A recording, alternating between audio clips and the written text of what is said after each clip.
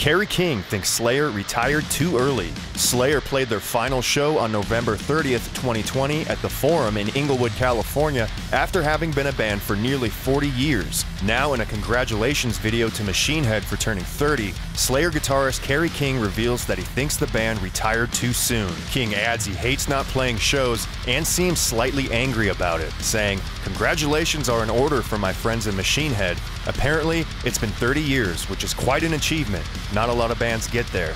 We in Slayer did, and then we quit too early. Fuck us. I know. Fuck me.